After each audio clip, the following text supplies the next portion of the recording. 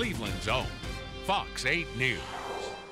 The dramatic changes in the weather are once again creating flooding concerns along ice-swollen rivers. Well, Drone Fox gives us a bird's eye view of all the ice along the Chagrin River, bringing the potential for flooding. Of course, Jack Shea joins us live in Eastlake, and Jack, flooding concerns there tonight.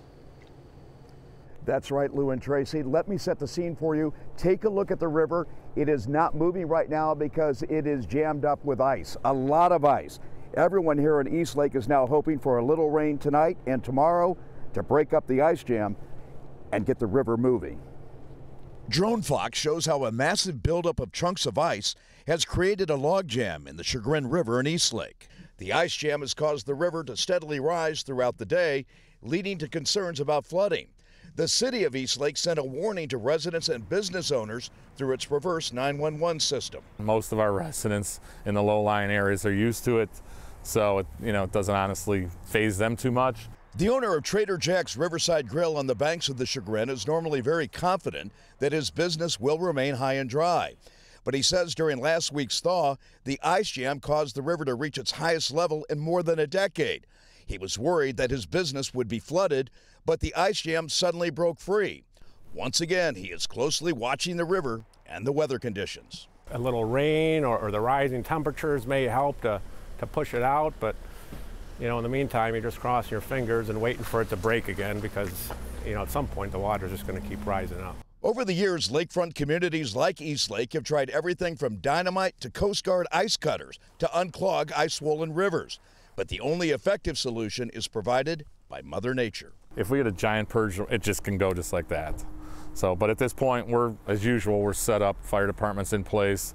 Uh, we have our people in and monitoring everything, and and now they wait for the sound of crunching, cracking ice that causes relief up and down the Chagrin River. I just hope it doesn't interrupt business, and, and, and I hope that, that nobody in the, in the, in the area gets any flooding. Um, but I do like the idea of the rising temperatures and, the, and, and, possibly a little rain to just help push it out. All I would say is stay away from the edge because once it starts flushing and starts moving, we don't want anyone to get pulled in.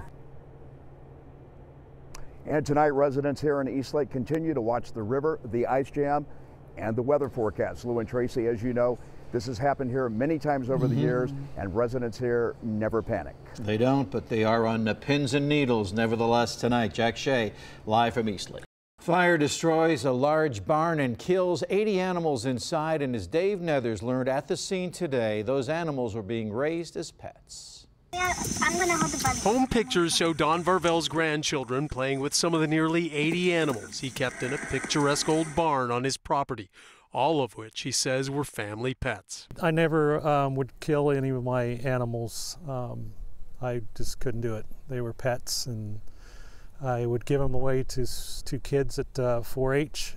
Um, some of them that were just starting out so that they could live their lives out until they got older and died. Early Tuesday morning, Varvel says his wife alerted him after noticing a startling sight. a little after 4 o'clock, in the uh, she saw the orange glow coming through our blinds of our living room. Mm -hmm. And so then she woke me up and I ran down to see if I could let any of the animals out of the barn, but it wasn't, it was too much engulfed to get into them. By the time somebody notices it, especially at 4.30 in the morning, it's probably had a good head start plenty of things to burn hay, straw, old wood construction. Despite the efforts of multiple fire departments, the 1937 barn shown in these family photos reduced to nothing.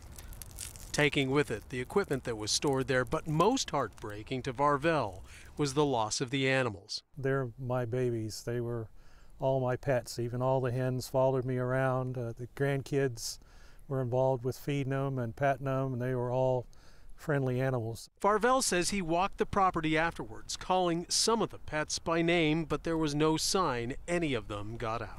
Yes, unfortunately, and I, unless some of the cats were able to get out, which is quite possible, uh, some of the small livestock, poultry, uh, chicken, ducks, and so forth were sure were uh, all, you know, taken by the fire.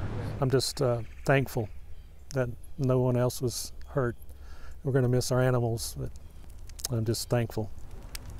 In Richland County, Dave Nethers, Fox 8 News. Thankful, but a tough day. Chief Henry says because of the extent of the damage, they'll probably never be able to pinpoint a cause.